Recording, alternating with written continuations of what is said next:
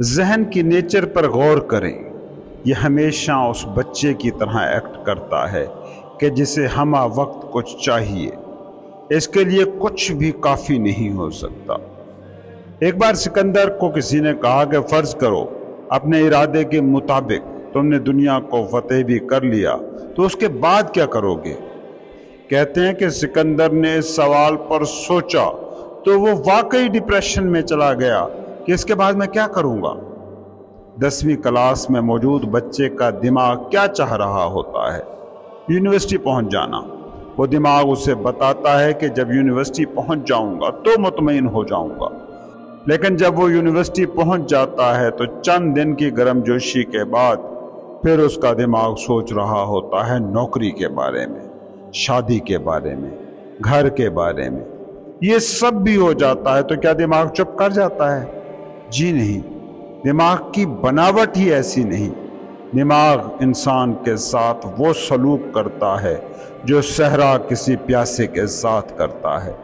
प्यासा इंसान सहरा में दूर देखता है कि वो पानी नज़र आ रहा है। वहाँ पहुँचता है तो रेत मुंतज़र होती है। और पानी अब भी उतने ही फासले पर होता है। आप अगर दिमाग से एक हैं, खुद को खुद का दिमाग समझते हैं तो आप खुद से पूछिए ज़रा ये सवाल कि कितने मकसद थे जो ज़िंदगी में तुमने बनाए और जिनके बारे में सोचा था कि ये मिल गए तो सुकून हो जाएगा। वो सारे मकसद पूरे हो गए। क्या सुकून आ गया? अगर आप सरता सर जहन हैं तो यकीन मानिए, वो मंजिल इस दुनिया में है ही नहीं, जहाँ पहुंचकर राही रुक जाए और कहे कि हाँ सुकून मिल गया। हिंदुस्तान के पुराने बुद्ध भिक्षु इंसानी दिमाग को मंकी माइंड कहते थे। मंकी, बंदर की आदत होती है कि वो थोड़ी ही देर में अपनी एक्टिविटी से उकता जाता है और कुछ और करने का सोचना शुरू कर देता है। आपके पास आपकी ज़िंदगी को गवर्न कर रहा ये जो टूल है, जिसे आप दिमाग कहते हैं, ये वही मंकी है, जो दिन में साठ से अस्सी हज़ार सोचों की शाखों पर फुदकता है। ये चैन नाम की किसी चिड़िया से आगाह ही नहीं। जहन का पेट चूँकि ख्याली है, इसलिए इसको भर पाना नामुमकिन है। क्या आप जानते हैं, इस कायनात में इंसान वाद मखलूक है जो बोर होती है। बोर होना जहन का वजीफ़ा है। आप बोर उसी वक्त होते हैं जब जहन से ख़ुद को एक कर चुके होते हैं, क्योंकि आपका सेल्फ आपकी बीइंग कभी बोर नहीं हो सकती। आपका क्या ख्याल है कि एक परिंदा जो खामोश कई घंटों से एक जगह बैठा है, वो बोर होता होगा? हो ही नहीं सकता। मगर आपको चंद मिनट बिना किसी सरगर्मी के गुजारने पड़े तो कभी अखबार उठाते हैं, कभी फ़ोन उठाकर चेक करते हैं। कभी किसी को कॉल करते हैं तो कभी किसी को। कभी टीवी के रिमोट से स्क्रीन के पर्दे बदलते हैं, इंटरनेट पर ऐसे ही सर्फिंग करते हैं, शॉपिंग के लिए चल पड़ते हैं, किसी नशे को ट्राई करने लगते हैं। ये सब इशारे हैं कि आप बोर हो रहे हैं। और बोरियत क्या है कि आप खुद अपने साथ नहीं बैठ सकते। आप अपने साथ बैठने से डरते हैं, क्योंकि वो जो आपका हकीकी आप है कभी आपने उसके साथ कोई ताल्लुक ही पैदा नहीं किया और अजनबियों की महफिल इंसान को बेचैन और बोर करती है। आप वलियों के मज़ारों पर जा सकते हैं। आप उनकी मदासराई कर सकते हैं, मगर उनके मराकबों, उनकी तन्हाइयों को नहीं जी सकते। हैरत की बात है वैसे कि वो मराकबे, वो तन्हाई जिनकी वजह से वो आपके लिए मोहतरम ठहरे, ये सरगर्मी आपसे बर्दाश्त नहीं हो पाती। एहसास से कमी, एहसास से किल्लत नाट इनफ की फीलिंग ये वो खाम माल है जिससे आपका दिमाग बना है।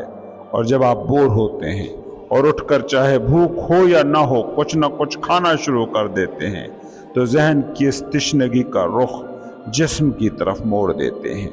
ये जो लोग बात बे बात खाने की महफिल सजा लेते हैं, पॉपकॉर्न, लेज और कुरकुरे का पैकेट उठा लेते हैं ये दिमाग के इसी डिसफंक्शन का फ़िज़िकल इजहार ही कर रहे होते हैं। ये वो ट्रिक्स और टूल्स हैं जो आप बोरियत के ख़िलाफ़ इस्तेमाल करते हैं। लेकिन असल में आपको करना क्या चाहिए?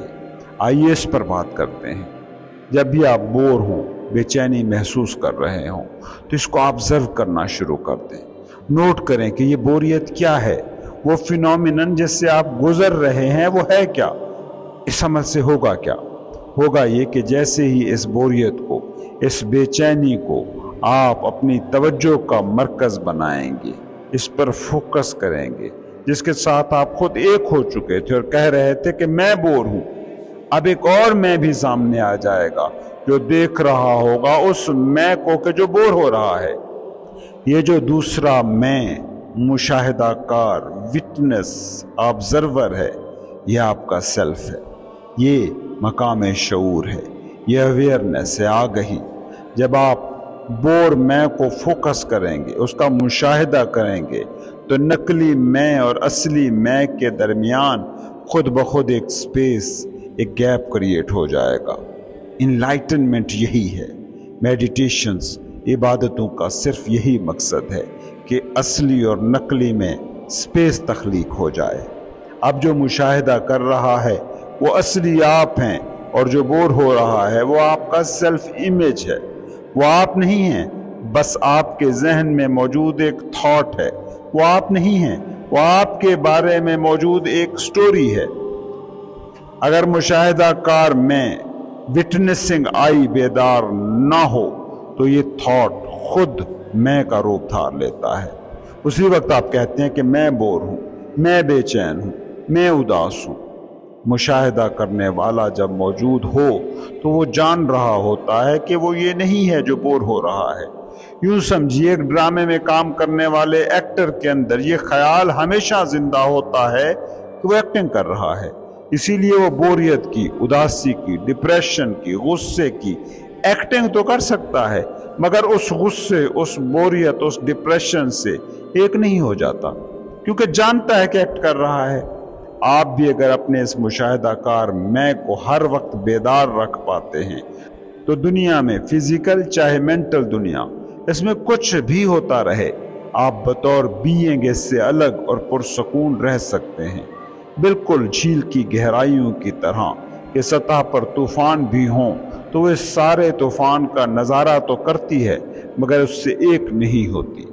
झील का बातिन स्टिल रहता है। आपकी बीइंग की जो हल्की सी बोरियत से, मामूली से, गुस्से से बिज़नेस के किसी नुकसान से हिल जाती है, वो स्टेबल हो सकती है। अगर इन सारे बज़ाहिर अफ़ाल और अपने बातिन के दरमियान आप एक फ़ासला तख्लीक कर लें। और जब आप ये करना शुरू करेंगे तो शुरू में ये स्पेस थोड़ी सी और थोड़ी देर के लिए होगी, मगर जूं जूं प्रैक्टिस करेंगे, ये स्पेस सकूत का ये लम्हा बढ़ता जाएगा। और आप देखेंगे कि वो बोरियत, वो कुताहट जिसका मुशाहिदा आप करने गए थे, वो ख़त्म हो गई। मतलब कहने का यह है कि खुद बोरियत जैसा मनफी जज्बा भी आपको सिखा सकता है कि आप क्या हो और क्या नहीं हो। ये मश करें तो आप जानेंगे कि वो शख्स जो बोर था, वो आप नहीं हो। वो बोरियत बस आपके अंदर मौजूद एनर्जी की एक कंडीशन मूवमेंट थी। आप न गुस्सा होते हो, न दुखी, न खौफजदा बोरियत, गुस्सा, दुख या खौफ, ये आपके नहीं हैं। आपकी ज़ात का हिस्सा नहीं है। ये बस इंसानी दिमाग की कंडीशंस हैं, मशरूतियतें जो आती हैं और जाती हैं। जो भी आता है, जाता है, वो आप नहीं हो सकते। जैसे आप कहते हैं, मैं बोर हो रहा हूँ। ये कौन जान रहा है, मैं गुस्से में हूँ, दुखी हूँ खौफजदा हूँ? इसको कौन जान रहा है? याद रखिए, आप ही वो जानना है, वो नोइंग ना कि वो कंडीशन जिसे जाना गया है। किसी भी किस्म का तासुब अगर आप में है तो समझ जाइए कि आप थिंकिंग माइंड से आइडेंटिफाइड हैं। इसका ये भी मतलब है कि आप आप सामने वाले इंसान को देख ही नहीं रहे, बल्कि उस तस्वुर को देख रहे हैं, जो उस शख्स के हवाले से आपके जहन में है। किसी ज़िंदा इंसान को एक मुर्दा तस्वुर में घेर देना खुद अपने आप में बदतरीन तशद है। आप कहीं पार्क में पड़ी बेंच पर बैठे हैं। एक अजनबी शख्स आया और आपके साथ बैठ गया। आपने एक नज़र उसे देखा और फिर अपनी सोचों में गुम हो गए। लेकिन अगर बेंच पर आकर बैठने वाला कोई आपका बचपन का दोस्त है, जिसे आपने पहचान लिया है तो अब आपके जहन की हालत वैसी नहीं रहेगी। इसी तरह अगर साथ आकर बैठने वाला कोई पुराना दुश्मन है, कॉलेज दौर का कोई मुखालिफ तो अब दिमाग में कुछ और ही कहानी चल रही होगी। यहाँ क्या हो रहा है? हो ये रहा है कि आप साथ आकर बैठने वाले इंसान को देख ही नहीं रहे, वो आपको नज़र ही नहीं आ रहा। आपके सामने सिर्फ़ वो इमेज है जो आपके दिमाग में मौजूद है। रूले ये कह रहा है कि अगर आप किसी शख्स को, किसी चीज़ को देखकर उसके हवाले से कोई तासुब बरत रहे हैं तो जान जाइए कि आप अनइनलाइटेंड हैं, रूहानी तौर पर गैर बेदार हैं, अपने दिमाग से खुद को एक कर चुके हैं, माइंड से आइडेंटिफाइड हैं। अब ईमानदारी से बताएँ कि किसी ज़िंदा इंसान को एक ऐसे थाट से कमतर समझना, जो कि बुनियादी तौर पर मुर्दा है इससे बदतरीन तशद क्या हो सकता है जो आप किसी दूसरे इंसान पर कर सकते हैं? किसी के होने को अनहोना करना है असल तशद और हम ये तशद हर एक पर कर रहे हैं। बाहरी दुश्मनों पर, दोस्तों पर ही नहीं, बल्कि अपने घर वालों पर और ख़ुद अपने आप पर। वो सोचें कि जो आगही की ज़मीन में पेवस्त ना हो, वो आपके काम नहीं आती, बल्कि वो बस अपनी ही ग़ुलाम रहती हैं। और आपके लिए नाकारा होती हैं। वो चालाकी कि जो हिकमत से, दानिश से महरूम है, वो ख़तरनाक और तबाहकुन है। और यही चालाकी है जो इस वक्त इंसान की मौजूदा हालत है।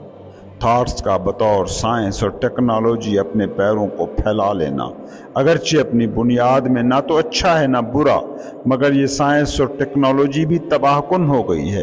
क्योंकि अक्सर इसमें से निकलने वाली सोचें अपनी जड़ें आगही में नहीं रखती। इंसानी इरतका का अगला कदम होगा, सोचों से मावरा जाना, और ये अब हमारी हंगामी ज़िम्मेदारी है। इसका कतन ये मतलब नहीं कि सोचना ही छोड़ दिया जाए, बल्कि इसका सादा सा मतलब बस इतना है कि सोचों के साथ खुद को शनाख्त ना करना, सोचों से आइडेंटिफाई ना होना, सोचों के कब्जे में ना चले जाना। आपके थॉट्स जो एक दिन में आप सोचते हैं, वो इतने ऑटोमेटेड और लाशौरी हैं कि आप अव्वल तो उन्हें सोचने पर मजबूर हैं। दोम निन्यानवे फ़ीसद आपके आज के थॉट वही हैं जो आपने कल भी सोचे थे। ज़्यादातर जो आप लाशौरी तौर पर आदतन सोचते हैं, वो मनफी थाट्स होते हैं। ये अलामतें क्या दिखाती हैं, क्या बताती हैं? ये बता रही हैं कि ये आप नहीं जो इन थॉट्स को सोच रहे हैं, बल्कि ये थॉट्स हैं जो आप पर एक्ट कर रहे हैं। हाथ आपका ग़ुलाम है, पैर आपके ग़ुलाम हैं, मगर सर आपका ग़ुलाम नहीं, आका बन गया है। एक बात याद रख लें कि हर वो थॉट वो सोच गलत है, जो दिमाग ने बतौर आका सोची है, और हर वो सोच, हर वो थाट मुफीद है, जो दिमाग बतौर ग़ुलाम सोचता है। जब दिमाग आपका ग़ुलाम होता है, इस बीइंग का, इस सेल्फ का, इस मकाम शूर का, कि जो अनमैनिफेस्टेड है, मगर हर मैनिफेस्टेशन जिससे जन्म लेती है तो उस वक्त दिमाग आपके पास मौजूद ताकतों में सबसे बड़ी ताकत बन जाता है। इसको एक तजर्बे से आप परख सकते हैं। आप एक मिनट के लिए कहीं खामोश बैठकर किसी एक पॉइंट किसी एक सोच पर फोकस करने की कोशिश करें। अगर आपकी फोकस की इस कोशिश से दिमाग उस थाट उस ख्याल, उस पॉइंट पर ख़ुद को मरकूज रखे तो जान जाइए कि दिमाग आपके कंट्रोल में है। लेकिन अगर इस कोशिश के दौरान दिमाग बार बार भटके, दूसरी सोचें मुदाखलत करें तो समझ जाइए कि आप दिमाग के ग़ुलाम हैं। कभी आपने गौर किया कि नमाज़ के दौरान दुनिया का कौन सा ख्याल है जो मुदाखलत नहीं कर रहा होता? जबकि आप उस वक्त उस कुल बीइंग से एक होने के थॉट को फोकस कर रहे होते हैं। आप सोचें कि आखिर हर मज़हब ही अपने मानने वालों से कुछ इबादतों का मुतालबा क्यों करता है? क्योंकि मज़हब हकीकी मैं को हकीकी खालिक से जोड़ने की कोशिश का नाम है और हकीकी मैं को बेदार करने के लिए फोकस की ट्रेनिंग का नाम इबादत है। क्योंकि ये वो मकाम है जहाँ जुजवी मैं कुल्ली मैं से हम आहंग हो जाता है, जहाँ कतरा खुद को समंदर से एक कर देता है।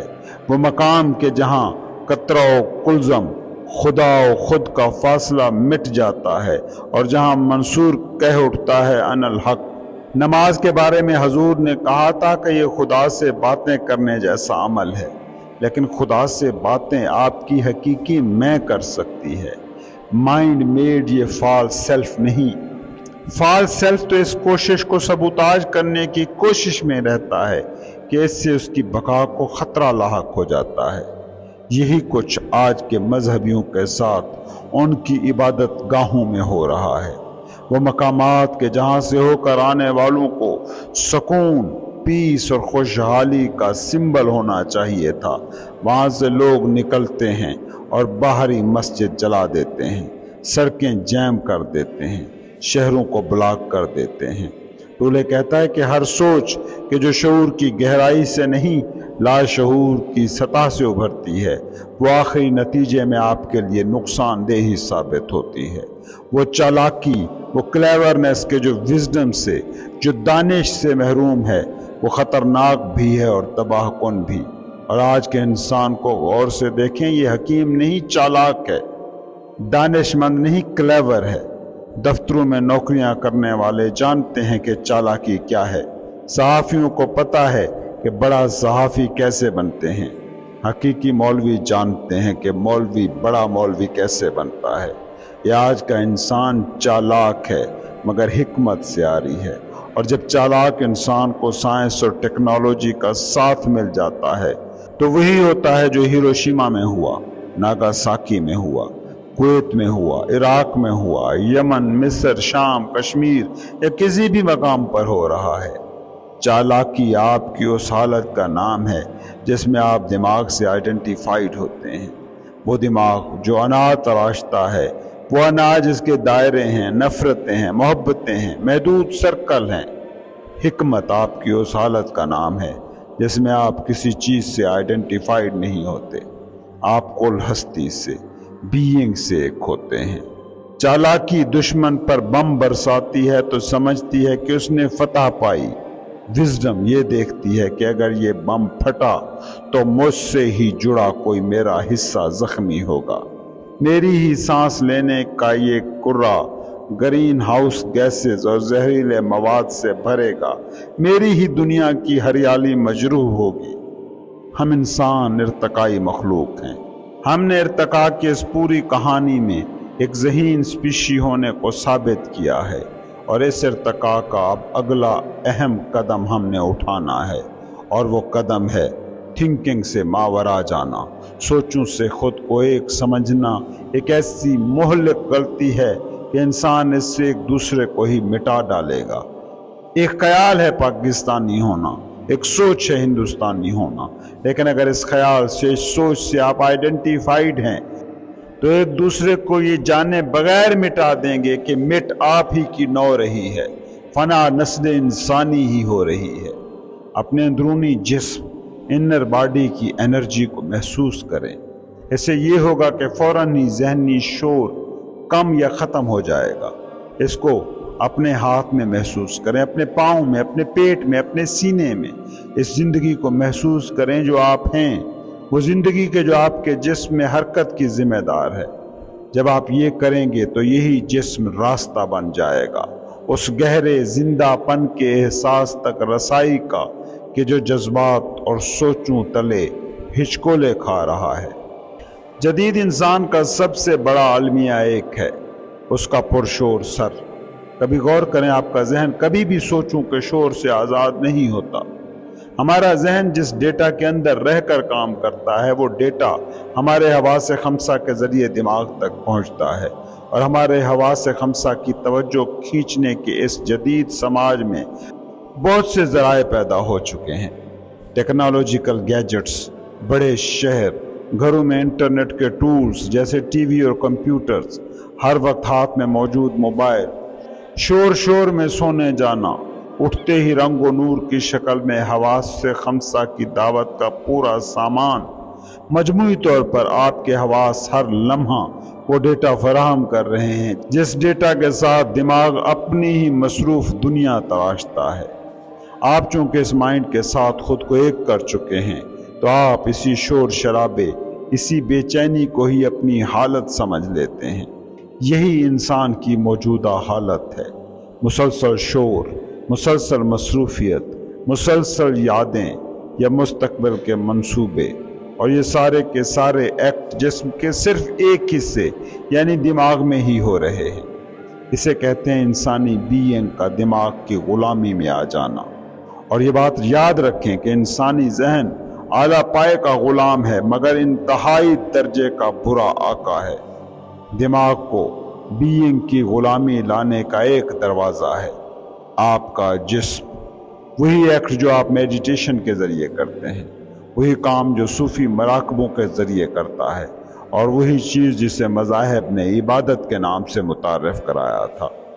एक बेहतरीन मेडिटेशन जो आप कर सकते हैं, वो ये है कि आँखें बंद करके मेडिटेशन के किसी पोज में बैठ जाएँ। कोई भी ऐसा पोज जिसमें आपकी कमर बिल्कुल सीधी हो। अब ये करें कि अपनी तवज्जो को अपने अंदरूनी जिस्म इनर बॉडी में मौजूद एनर्जी पर फोकस करें। उस बातनी एनर्जी पर जिसे कुत हयात कहते हैं, उसको महसूस करें। आप नोट करेंगे कि जैसे ही आपकी तवज्जो दिमाग से हटकर ज़िंदगी की इस ताकत की तरफ़ मुड़ेगी, जो आपके जिस्म के रूएँ रूएँ सेल सेल में कार फरमा है तो उसी वक्त ही आपका जहनी शोर कम या ख़त्म हो जाएगा। इस कुत हयात को लाइफ एनर्जी को पूरे जिस्म में महफूज करें। एक एक उज़ पर फोकस करें। उसमें ज़िंदगी की लहरों को महसूस करें। ये एहसास एक टिंगलिंग की सूरत में होगा, एक सनसनी की सूरत में। अपने हाथ में इस एनर्जी को महसूस करें।